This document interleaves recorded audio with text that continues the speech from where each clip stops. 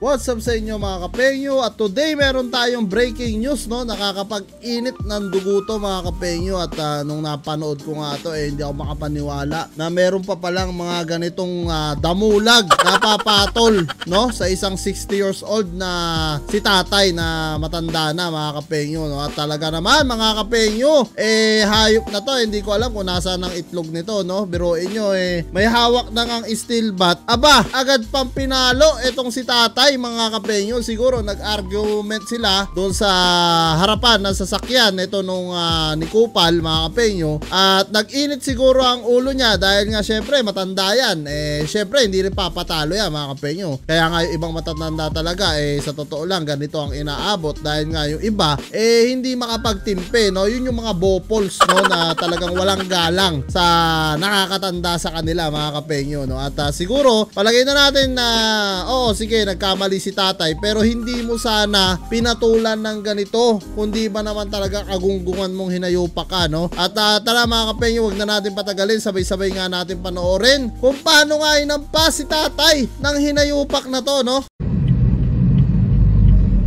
nangaamba pa eh oh. Awal sa laway yun. laki ng katawan eh oh. Ah, po, talaga oh, talagang talagang inaambahan si tatay.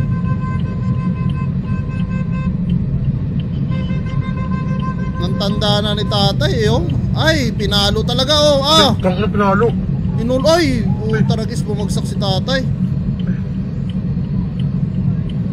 Putaragis ka, brother. Grabe, mga penyo, nakakapag-init talaga ng ulo tong hinayupak na to. Kita nyo naman yung katawan niya, no? Putaragis na to. Ang lusog mo, brother. Tapos pinatulan mo yung parang tatay mo na. Putaragis ng tao to. Grabe, mga kapenyo, nakakapag-init ng ulo to. Yung mga ganitong ah, insidente, no? At ah, kung ako ang tatanungin nyo, mga kapenyo, eh talaga naman, dapat talaga ito yung mga kinakalaboso, no? At ah, pinipitsaraan sa loob ng kulungan, mga kapenyo, para talagang madala. Sipin mo, ayun, oh, humawak sa likod si tatay, oh. Kita nyo? Paano? Putaragis. Eh, syempre, ang buto ng mga ganyan 60 years old na malulutong na yan, mga kapenyo. Once na mabalian ng buto yan, mga kapenyo, eh talaga naman, therapy ang abot niya. Kung hindi therapy, eh baka mamaya ikamatay pa, no? Ng ah, mga ganitong ah, ma- may edad na. Syempre, mga kapenyo, hindi papatalo yan. Dahil na, syempre, kumbaga sa ano, isip niya matanda siya eh. Tapos kung ah, sakali nga, eh yung pinagmulan nito, eh kung yung nagkamali pa, itong si Kupal, eh di talagang lalong hindi papayag si tatay na, na ano, na magpapatalo siya. Syempre, hanggat nasa katuwiran siya. Hindi mo dapat dinaan sa dahas, hayop ka, no? Ah, nakakainit ka talaga ng ulo sa totoo lang. At ah, hindi nakakatuwa itong ginawa niya. Dalawang beses, tatlong beses niya pinalo si tatay. Kita nyo naman humampas sa lupa si tatay, no? Masira ulo yan mo si Manang Manong ah. Oh, kinukuha ni tatay plate number.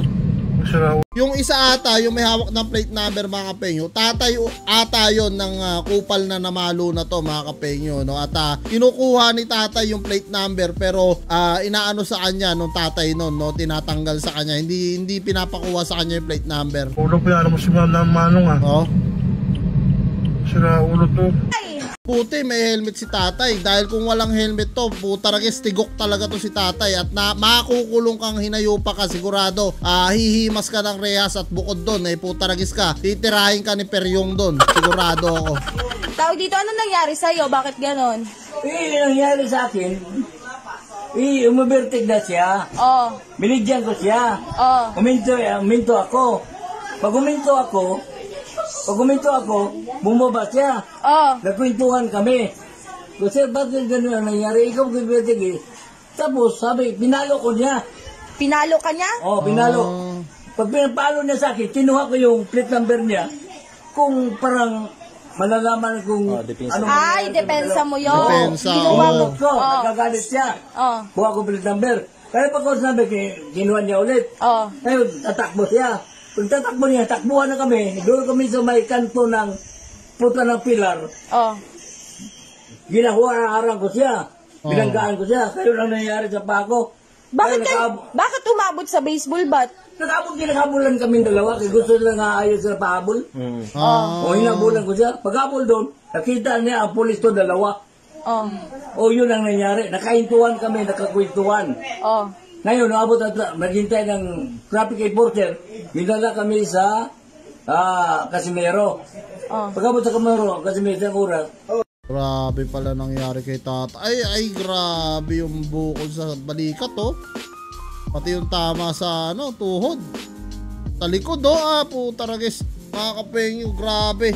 Pwedeng pwedeng sampahan ng kaso ni tatay to mga kapengyo. Talaga naman. Antinde ng inabot ni tatay dito mga kapengyo. Yun pala yung tunay na nangyari ron. No? Mismo si tatay ang nag-explain. Kaya pala pinalo siya ng ah, steel bat doon. Eh parang nagtatalo na sila. At naghabulan na nga mga kapengyo. Siguro hinahawakan ni tatay yung steel bat niya na para kumbaga sa ano eh wag siyang paluin. Pero tinuluyan pa rin siya ng gunggong mga kapengyo. Ang laki ng tama ni tatay sa likod. No? Tapos doon sa may ano, tingnan natin sa may gilid. Eto, grabe. Eto yung napa ano eh, napadaos-os si tatay doon sa may ano eh, sa may ah, kalsada. Eto, yung sa balikat mga kapenyo, ang laki ng tama dito. oh. Pinalo siya. Buti may helmet pa si tatay, oh. Ah, ulo, oh. grabe, oh. Laki ng tama sa ulo, mga kapenyo, bumukol. Hindi ko alam mga kapenyo kung pinalo pa ulit siya na walang helmet eh. Pero na ang napansin kasi doon sa video, naka-helmet siya, tapos pinalo siya sa ulo mga kapenyo. Grabe, grabe inabot dito ni tatay at ah, talagang ah, nakakaawa. Isipin nyo, oh. 60 years old mga kapenyo, no? Senior citizen na yan, napakawalang respeto ng hinayupak na tulonggis na to mga kapenyo, no? At dapat yan talaga yung nasa sampulan, no? At uh, syempre nananawagan ako sa Rapid Tulpo in Action na sana mapansin nyo itong ah, reaction video na ginawa ko ngayon dito kay tatay at pwede nyo rin puntahan sa video ni Cooking Kata Vlogs mga kapenyo, no? At talaga naman mga kapenyo, eh pag napanood nyo, lahat kayo magiinit talaga ulo nyo. Nakita nyo naman siguro yung katawan ng bata mga kapenyo. Ang laki ng katawan niya, hayop na yan, no? Mukhang nag-gym pa yung gago na yan. Tapos papatulan, ganito katanda. Tipin nyo, papatulan, ganyan katanda. ba? Grabe naman mga kapenyo, no? Ah, ah, wala na ba tayong respeto sa nakakatanda sa atin, ba? Respeto naman mga kapenyo. Kahit ah, kung sagutan lang, sagutan lang. Huwag tayong ah, ah, masyadong magpadala sa init ng ulo, lalong-lalo na sa ah, traffic. Mga kapenyo, alam naman natin mga kapenyo na talagang ah, ah, madalas ang traffic sa Maynila, madalas ang traffic sa Pilipinas, sa saan man sulok ng lugar ng Pilipinas, eh talaga naman mga kapenyo, nandyan na yung ah, trapiko, no? Pero syempre, konting hinahon naman at konting respeto sa mga nakakatanda sa atin, no? At wag tayong basta-basta magpadala sa init ng ulo. Eh paano kung napatay mo to, 'di ba? Paano kung napatay mo yan, brother? Ano na lang mangyayari diyan? Eh kawawa naman yung pamilya niya na umaasa sa kanya. Sana naisip mo 'yun, no? Ah, ang laki ng katawan mo tapos pinatulan mo. Eh, sa totoo lang, isang yakap mo lang dito kay tatay, hindi na makakapalag sa to eh. Maniwala ka, isang yakap mo lang diyan eh kahit na ah, hatakin mo lang yung kamay niyan, eh, sa laki ng katawan mo, talaga naman babalibag si tatay sa iyo, maniwala ka, no? Tapos 60 years old pa yung pinatulan mo. Hindi ka na naawa, brother. Wala kang konsensya, hinayupa ka. Sana ma-realize mo yan at sana hindi ka patulugin ng konsensya mo habang napapanood mo itong video na to na ginawa mo kay tatay. No? Makonsensya ka, brother. May magulang ka, may tatay ka rin na dapat nire-respeto mo. Hindi mo dapat ah, ginagawa yan. Balang araw, Brad, magiging tatay ka rin. Ang masakit nito, eh baka mamaya maganyan ka rin sa kalsada. Yun yung pinakamasakit na karma na mangyayari sa buhay mo. Anyway, mga kapenyo, maraming maraming salamat dito sa panonood nyo sa panibago kong reaction video. At kung meron pa kayong gusto ipa-reaction video, mga kapenyo, i-comment nyo lang yan down below, mga kapenyo, at lahat-lahat yan mababasa ko. Maraming maraming salamat, mga kapenyo, at kita-kita lang tayo sa susunod kong reaction videos.